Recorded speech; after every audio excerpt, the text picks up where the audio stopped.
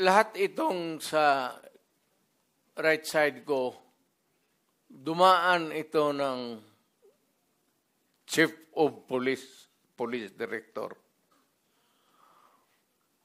Puro commander ng death squad yan. I thought there was no existence. Trabaho ng pulis yan. Eh, literally, hindi mo sabihin ng death squad.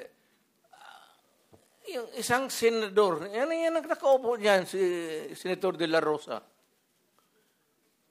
Death squad rin yan.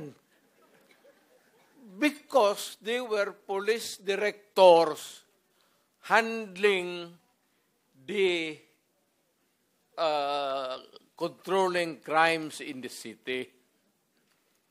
So pag magsinabi mong death squad, it's a very loose term na ginagamit mo lang parang ganon isili.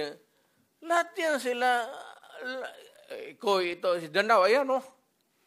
Ayan oh, nagdadasal kasi sa kasalanan niya siguro. Magkano bang, ilan bang pinatay mo?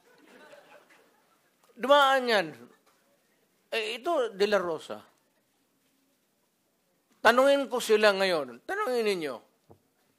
Openly, lahat yan dumaan pagka-police chief. Pati yan si Gamboa. Tanungin ninyo.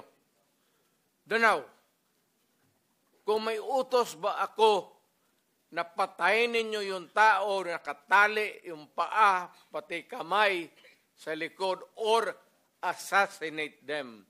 Ang sinabi ko, ganito, prangkahan tayo, encourage the criminals to fight.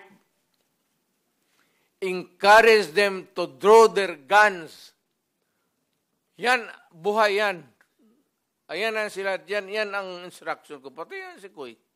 Encourage, pati yan si De La Rosa, encourage them lumaban Pagka lumaban, patayin ninyo para matapos na ang problema ko sa siyudad ko.